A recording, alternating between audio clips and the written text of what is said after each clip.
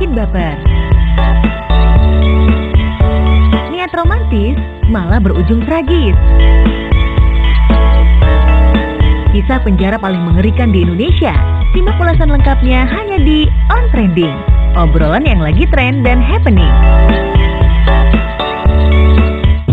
Hai hai hai viewers, kembali lagi bersama aku Claudia Di mana lagi kalau bukan di On Trending, obrolan yang lagi tren dan happening. Viewers, warnanya cantik banget ya ini baju Claudi, warnanya kuning-kuning ke orange gitu ya. Claudi suka banget sih sama bajunya, soalnya Claudi jadi cerah banget kayak matahari di pagi hari. Viewers, hari ini Claudi akan memberikan informasi-informasi seputar selebriti, berita viral, dan juga ada yang serem-serem nih viewers. Gimana lagi kalau bukan di on trending, obrolan yang lagi tren dan happening. Viewers, informasi pertama ini datang dari kalangan selebriti atau artis yang katanya benar-benar bucin. Wah, Claudi suka sih yang bucin-bucin. Ini kira-kira siapa aja ya yang bucin? Langsung disimak aja informasinya. Ini dia. Gimana viewers, beneran bucin atau enggak nih?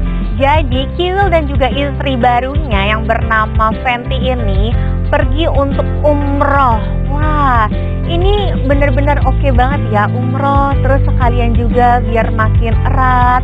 Dan semoga ini jadi pernikahan yang terakhir sampai akhir hayat ya. Doain aja yang terbaik lah, karena capek ya kalau misalnya nikah terus nanti cerai, ganti lagi. Aduh, kalau pacaran aja, pacaran putus, pacaran putus, aduh capek ya viewers ya. Semoga lah ini benar-benar yang terakhir dan bahagia sampai akhir hayat. Selanjutnya ini ada Vino G. Bastian dan juga Marsha Timothy. Ini Claudi suka banget sama mereka berdua. Kenapa? Tentunya karena prestasi bukan karena sensasi. Vino G. Bastian, Marsha Timothy dua-duanya itu benar-benar aktris dan juga aktor yang aktingnya benar-benar bagus. Dan Vino G. Bastian ini hanya memfollow istrinya saja. Jadi followingnya itu satu, yaitu istrinya Marsha Timothy. Claudi tahu nih ya, waktu itu Claudi pernah lihat podcast, jadi ditanya ke Marsha Timothy, gimana nih ketemu sama suami yang bucin? Sebenarnya katanya, dia tuh bukan bucin, tapi si Vino ini bilang katanya, aduh capek banget ya kalau misalnya harus mikirin kita harus follow siapa. Nanti kalau misalnya kita ketemu sama orang, nanti misalnya ih yang ini di follow, yang itu nggak di follow. Jadi udah mendingan aku follow kamu aja, yang lain udahlah. Ya ampun romantis banget, jarang-jarang loh ada cowok yang mau cuman follow istrinya doang.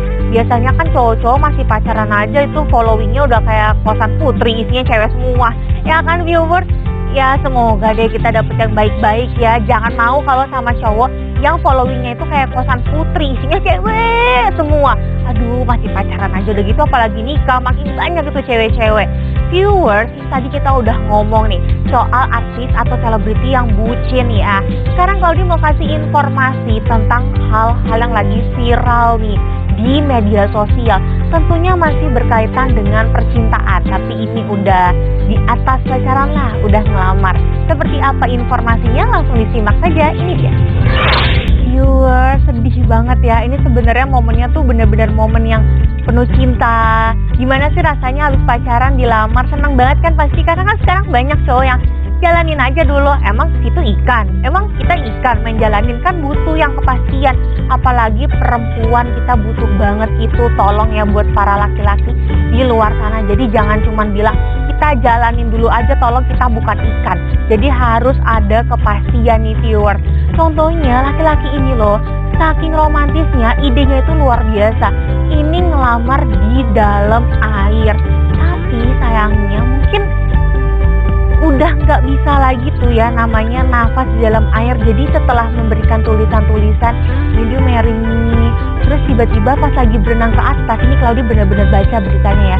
Pas berenang ke atas itu tidak muncul lagi ke atas. Karena kayaknya udah nggak bisa bernafas lagi terus udaranya juga udah habis. Akhirnya dikabarkan meninggal.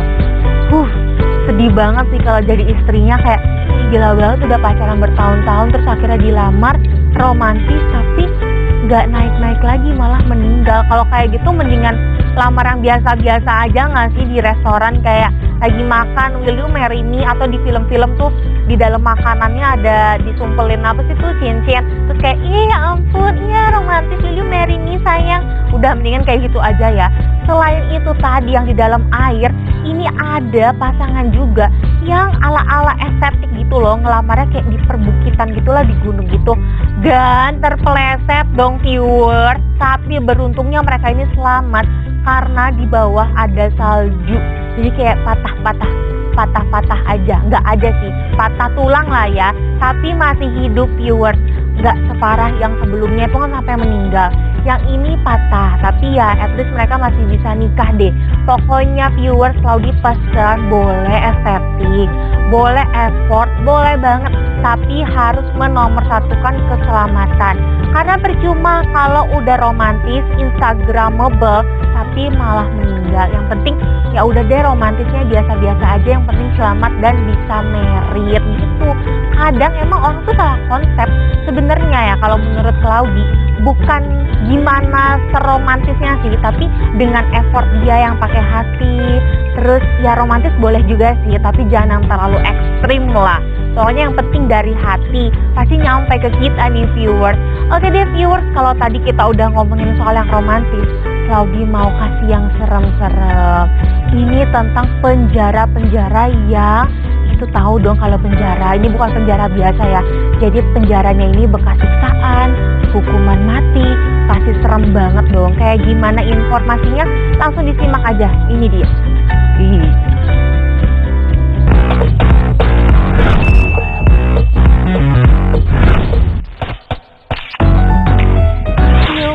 Kembali lagi di On Trending, obrolan yang lagi trend dan happening.